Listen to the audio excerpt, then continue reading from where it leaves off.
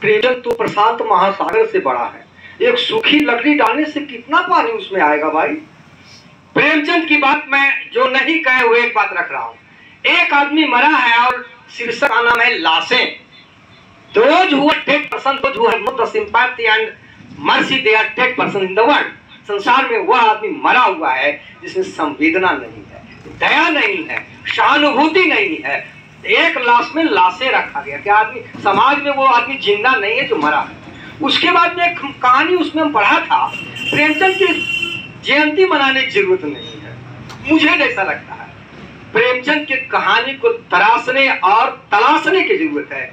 हमें दूध पीने की ज़रूरत नहीं है, भीम बोलने की ज़रूरत नहीं है, भीम पैदा करने की ज़रूरत है, प्रेमचंद को हर घर में लाने की ज़रूरत है, तब प्रेमचंद की जयंती होती है। मुझे लगता है इन्होंने हैमलेट का बात कहा, हमारे गुरुदेव सब तो गुरुदेव के बराबर हैं।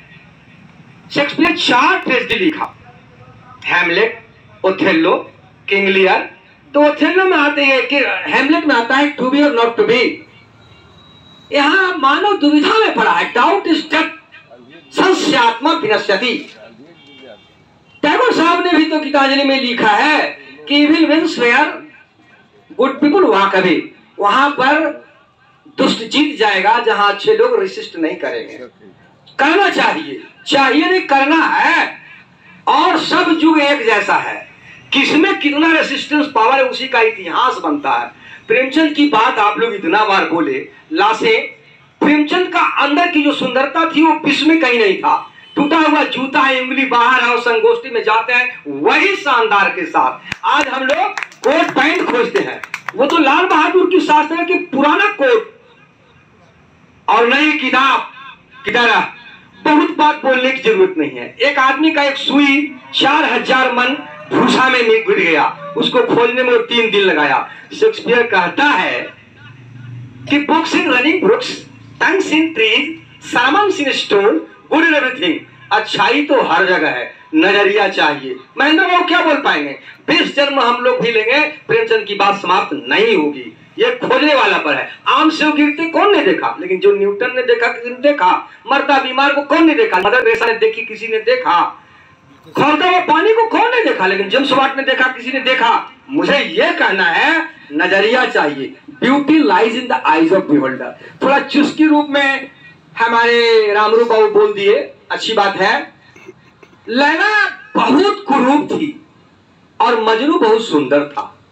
लोग कहा कि इतना कुरूप के पीछे तुम क्यों मर रहे हो मजनू मजनू ने कहा कि लैला की सुंदरता देखने के लिए, सेव गिरते हुए को देखने के लिए, मरते बूढ़े और बीमार को देखने के लिए, मदर ट्रेसा बुद्ध और मजनू का नज़रिया चाहिए। Beauty lies in the eyes of beholder.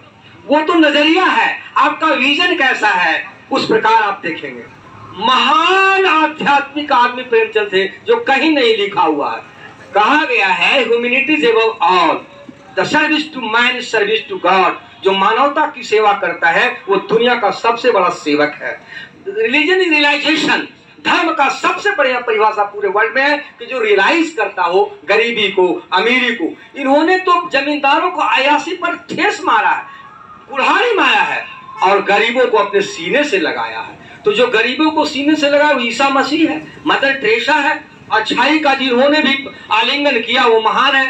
तो मैं समझता हूँ कि जब तक किसी साहित्य को पढ़कर आपने जीवन में उतारा नहीं तो साहित्यकार नहीं है। बहुत लंबा चौड़ा भाषण दे दें, कविता पढ़ दें, और आपने उसको उतारा नहीं तो साहित्यकार नहीं है। इसीलिए ये हमारे प्रधान, ये राष्ट्रपति कहे हैं literature must wait the past reflect the present and more the future जो भविष्य को नहीं बदला, वो कैसा साहित्यकार है भाई?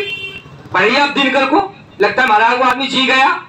साहित्य का साहित्य पढ़ने का अर्थ है कि आपने बदला कि नहीं बदला? नहीं बदला तो बेकार है। हमको नलिन जी कहा करते थे मदन, किताब को छू दोगे तो विद्वान बन जाओ। या तो ये